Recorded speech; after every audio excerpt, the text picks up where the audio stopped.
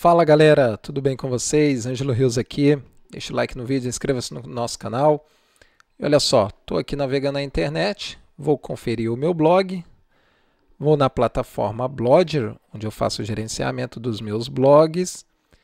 E adivinha o que, que acontece? Olha só, geralmente eu faço esse esquema aqui. Venho aqui no menu de atalhos, coloco aqui, clico no ícone Blogger, que é uma plataforma autenticada, né? É original aqui da Google, pertence à Google, onde a gente usa aí as ferramentas do Blogger para gerenciar os nossos sites, blogs e tudo mais. E quando eu clico, olha só o que, que dá. Site fraudulento.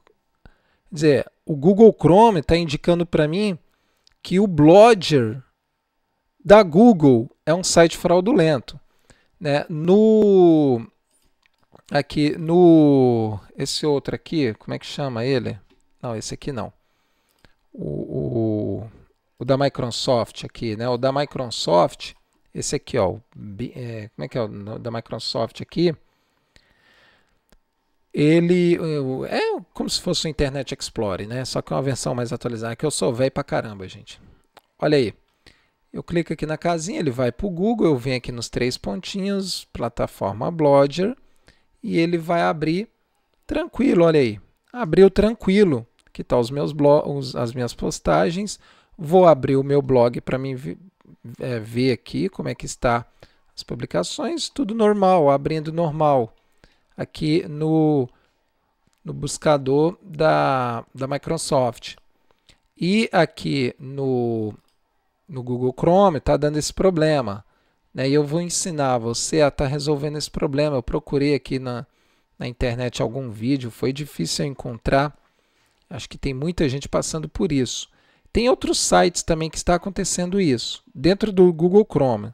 Tá? Isso é um erro, uma falha de programação, não sei muito bem o que, que está acontecendo com o Google Chrome, nunca aconteceu isso, mas eu vi relatos de, de que isso vem acontecendo desde 2016. Né? Então, de um tempo para cá está se intensificando. Vamos lá. Olha só. Você vai vir aqui nos três pontinhos aqui, ó, no canto superior direito da tela. Clica em configurações, tá? Clicou em configurações, você vai aqui na privacidade e segurança. Olha aqui, canto superior esquerdo da tela, privacidade e segurança. Aqui você vai em segurança tá? Segurança, você vai desativar essa proteção, ó, navegação segura. Então você vai desativar isso, essa proteção, você vai desmarcar ela, mas não é só desmarcar, você tem que marcar uma dessas três opções que o Google Chrome te dá. Então vamos marcar proteção padrão ou sem proteção. Eu prefiro a sem proteção porque eu sei o site que eu estou entrando, eu sei, eu não vou entrar em site malicioso. E essa proteção aqui é, é um exemplo assim, no meu blog tem alguns links de afiliados, então acho que algum algoritmo do Google entende que a pessoa clicando no link de afiliado é redirecionado para um outro site que vai estar tá induzindo a compra, uh, não sei o que, entendeu? É, é alguma coisa nesse sentido. Então eu vou colocar aqui sem proteção e vou dar aqui, ó, ele dá um recado falando que, ai meu Deus do céu, é muito perigoso você fazer isso. Eu vou desativar assim mesmo. Pronto, desativei. Agora nós vamos lá, vou abrir outra aba. Vou aqui, como já de costume, e vou abrir o meu Blogger. Gente, que perigo o Blogger tem? É nenhum, nenhum perigo. E vou visualizar o meu blog e lembrando que eu visualizo o meu blog como administrador. Olha aqui as chavinhas aqui do lado, ó, tá vendo? Para me fazer alguma alteração. Então eu estou visualizando o meu blog como administrador, ou seja, não tem nenhum perigo para mim isso aqui.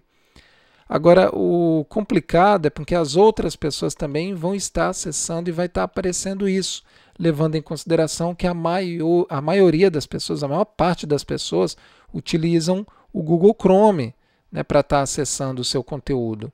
E isso é um fator muito importante. Passe esse vídeo adiante, esse vídeo para frente. É você que é criador de conteúdo, você que tem blog, tem site. Uh, passe esse vídeo para frente para que, se as pessoas estiverem passando por isso, como eu passei, foi difícil encontrar alguém ensinando a fazer isso.